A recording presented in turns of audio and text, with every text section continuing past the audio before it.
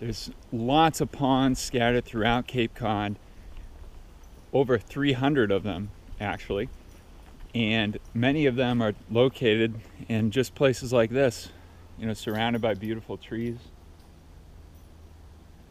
Very few houses around them. You'll find them if you look on Google Earth, and quite a few have nice little, you know, access trails like what we're on right here. Some of them have actual campgrounds that are near them. And a lot of these ponds, not the pond that we're fishing today, but a lot of these ponds have trout that are stocked by the state. So you can get largemouth bass, smallmouth bass, plenty of pickerel, sunfish, but you can also get rainbow trout, brook trout, brown trout, tiger trout, and there's even some salmon in some of the ponds. All right, you ready, Rosie?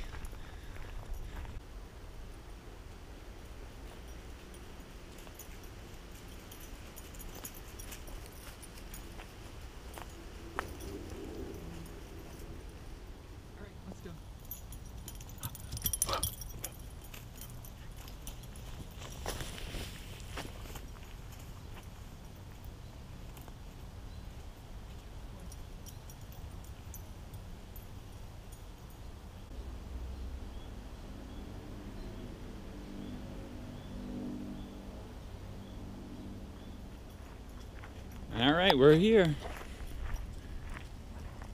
This will be the first spot we try. Some nice cattails over here to the right. Hopefully there's some bass holding in those. All we're using today is a small little Rapala. This particular lure is probably like 20, 30 years old. Just looks like a little shiner, little minnow eight pound test. And with the Rapala, I'm just gonna give it a little cast. Super, super simple. Just slowly reel it in. Pause every once in a while. Slowly reel, pause, slowly reel. Maybe give it a couple little twitches. You can pretty much do whatever you want. You found something dead to roll in, didn't you? She loves rolling in anything dead. Dead fish, dead mice, whatever. She rolls in it and then it just absolutely stinks. All right, maybe right over by these cattails.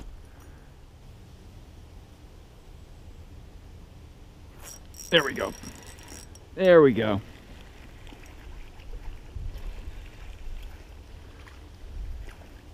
No world record. Nice little largemouth.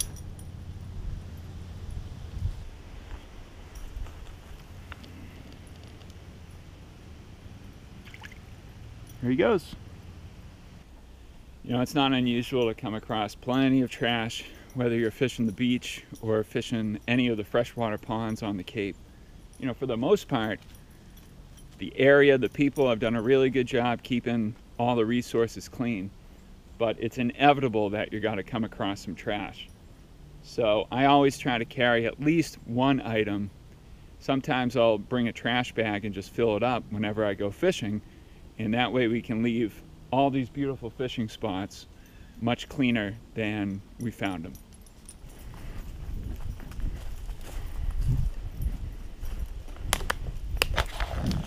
Nice fall foliage starting to come in. All the leaves are starting to change. Really pretty time of the year. All right. You can see we've got a pine tree that's fallen into the water here. Got some old lily pads. Plenty of branches right out there. Hopefully there's some bass hanging out, you know, by this submerged timber. Oh, I just had a nice hit. Oh, wow. Whatever that was, it was lightning fast. Come on, hit it again. Oh, there we go, what a hit. That was an awesome hit. Jeez. Nice little largemouth.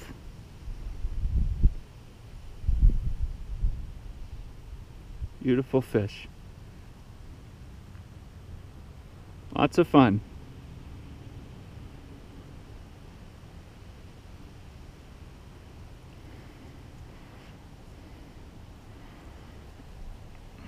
So we got one largemouth over by the cattails. We got another one right here by the submerged timber. We've got a few more little areas to check out. So Rosie and I are gonna hit up a few more spots and maybe we can find a different species or maybe even a bigger largemouth. I'm sure they're in here.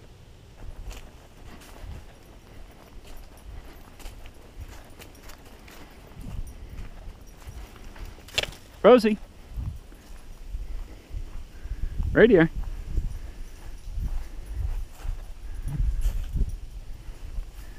Tricky little spot.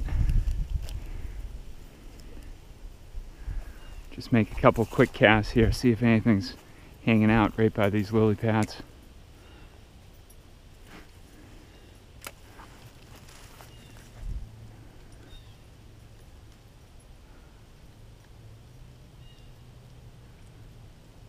Oh, what a hit. Wow, nice. that was pretty cool. Nice little largemouth. He was hanging out right in the lily pads.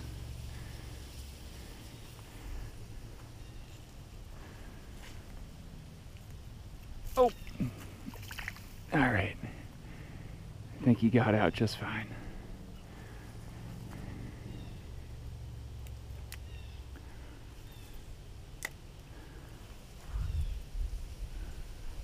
Oh wow, this is a bigger fish. This is a bigger fish. Oh boy. Oh man. I'm gonna have to tighten up the drag. Oh, what a nice bass. Come on, get in here. Rosie, come here. You gotta wanna see this one. Come here. Nice, they're hanging out by the lily pads, pretty heavy.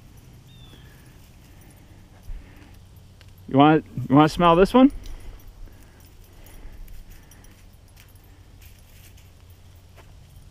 There you go. Give him a kiss. Good girl. Nice largemouth. Yeah, that's a good one right there.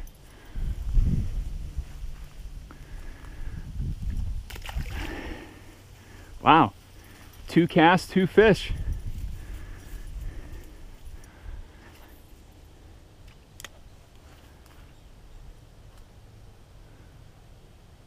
Oh, another one. Another bass.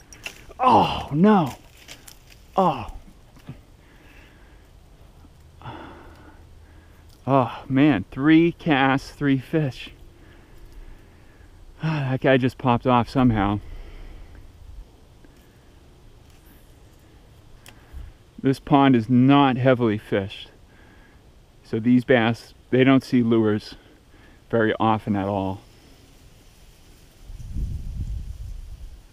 Oh, another big one. Another big one.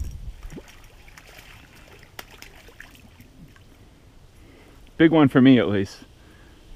Rosie, another one. Want to give this guy a smooch too?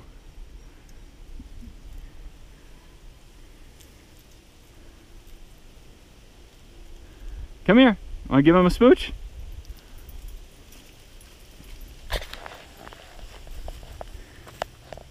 There you go. Good girl.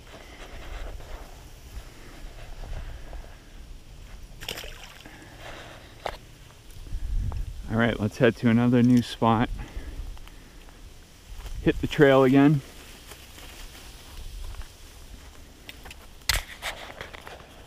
All right, we'll try a new spot. You walked by it, Rosie. Right here, right here. Yeah, this looks pretty good. Definitely a little bit easier to fish here. Less stuff to get hung up on. Here's some evidence of somebody else fishing here. Oh, Berkley power worm, back half of it.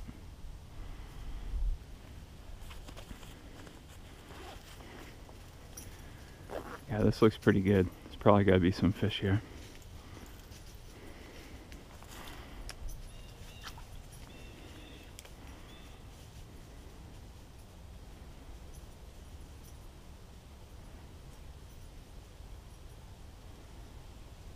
Oh yeah. Oh, oh, jeez. He hit it and then I paused and he hit it again. Another nice little largemouth. Hold on, bud. I'll get you back in the water quick. Oh, come here. There you go. Nice little guy.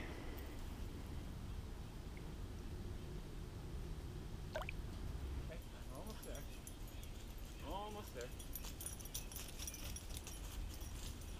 Got my trash.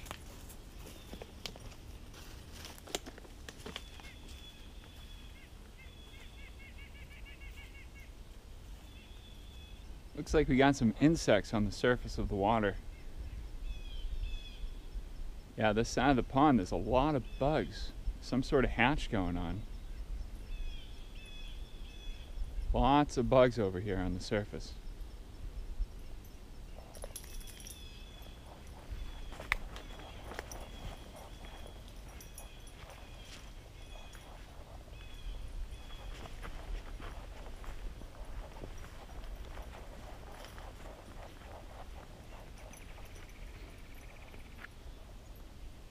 Man, so nice. What a nice and peaceful day.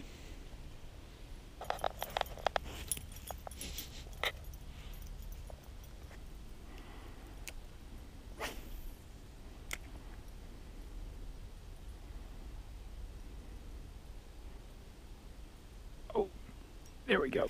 Oh! Add another little largemouth.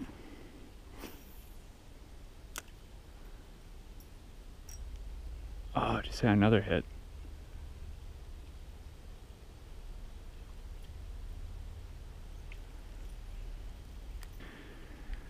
Find the lily pads, find the largemouths. That's the pattern for today. See if we can hook another one. My first cast. Oh, that's a good one. Oh! They are just loving these lily pads.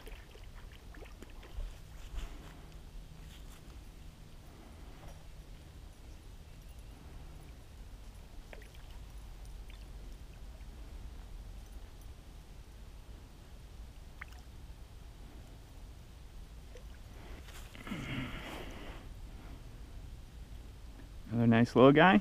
Rosie, come here. I got something to show you. You got another one.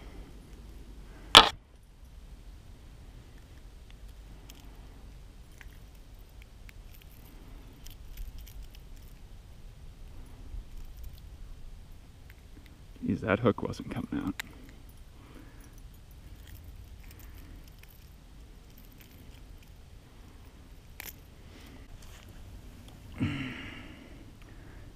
Little largemouth. They love the lily pads today. Certainly do.